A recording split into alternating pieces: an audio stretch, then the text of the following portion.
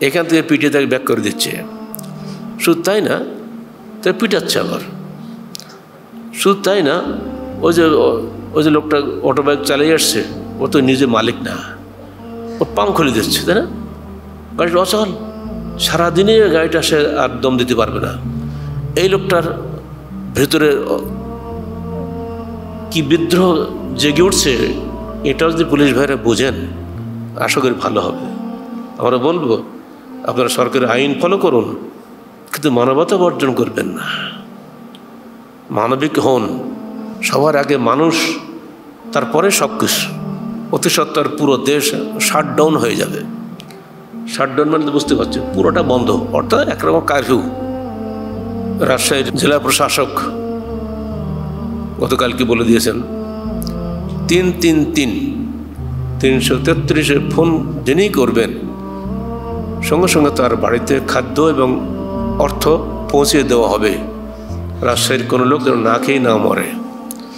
তাঁর এই ঘোষণাকে আমরা স্বাগত জানাই। কিন্তু এটাও বলব, মানুষ শুধু খায় না আরও কিছু লাগে। তাই না? আর সকালে আমার বাসায় এসছে কাপড় নাই। মানুষ শুধু খায় না, তার তো আরও কিছু লাগে। তার পোশাক লাগে চিকিৎসা খরচ লাগে, কত কি লাগে? মানুষকে কর্মহীন করে ফেলবেন না।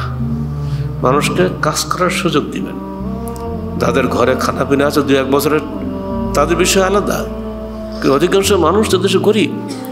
আর এই করোনায় গত এক বছরে নতুন করে দুই কোটি পঁয়তাল্লিশ লক্ষ লোক নাকি দরিদ্র হয়েছে। হিসাব যদি সরকারের সঠিক হয়, নিঃসন্দেহে তার চেয়ে আরও বেশি হয়। কারণ সরকার সব হিসাবেতে হিসাব করে মানে সঠিকভাবে হয় না তো, করাও সম্ভব না। যেমন বলা হচ্ছে, ভারতে যে করোনা হয়েছে, তার চেয়ে দশ ভাগের বেশি সেখানে যে সরকার হিসাব চেয়ে দশ ভাগের, দশ ভাগ বেশি নাকি করোনা আক্রান্ত হয়েছে বা মরেছে, কোনো হিসাবে সঠিক নয়। যাই হোক, হিসাবের মধ্যে আমরা যাচ্ছি না। মূল কথা হচ্ছে এই যে মানুষকে কর্মহীন করাটা ভুল হবে। খাবার পাঠানোর জন্য আমরা ধন্যবাদ দিচ্ছি। সিটি কর্পোরেশনকে দিচ্ছে? জানি না আপনারা খাওয়া পাচ্ছেন কিন্তু আমরা বলতে পারব না। তো আমরা তো ফোনও করি নাই, বলতেও পারব না। কেউ ফোন করতে থাকলে আমার জানিয়ে দেবেন হ্যাঁ ফোন করেছি খাওয়া পাইছি।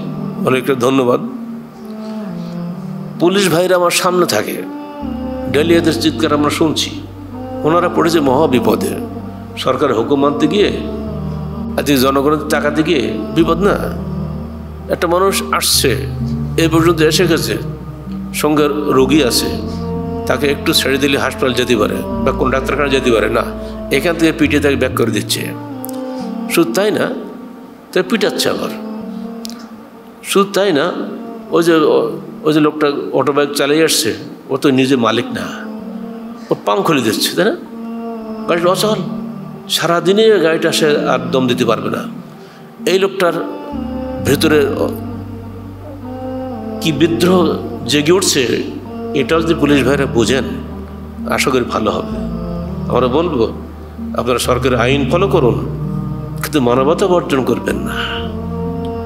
মানবিক হন, সবার আগে মানুষ, তারপরে সব কিছু